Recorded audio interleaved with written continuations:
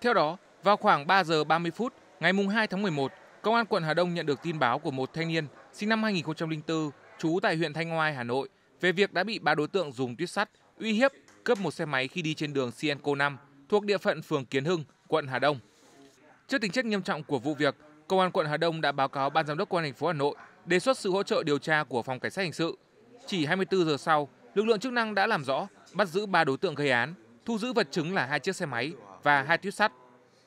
Em là người à, lái xe, còn hai bạn kia là chuẩn bị công cụ à, gây án.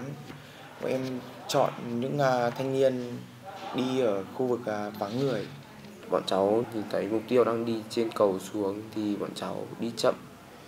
Xong bọn cháu vụt vào biển số người này để người ta sợ, người ta bỏ xe chạy. Xong bọn cháu quay lại, bọn cháu lấy xe. Việc chuẩn bị cái phương tiện cái công cụ các cháu phân nhau, phân công nhau rất là cụ thể.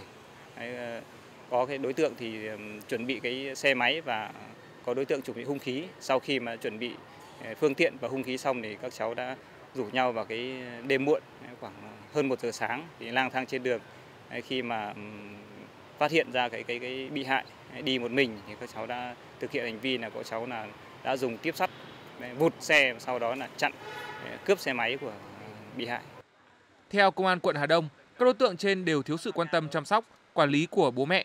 Đặc biệt, có đối tượng bố đang chấp hành án tù về tội mua bán trái phép chất ma túy. Chính vì vậy, các thiếu niên này ở gần nhà nhau và thường xuyên bỏ học, bỏ nhà đi chơi. Khi hết tiền, đã bàn tính việc vi phạm pháp luật.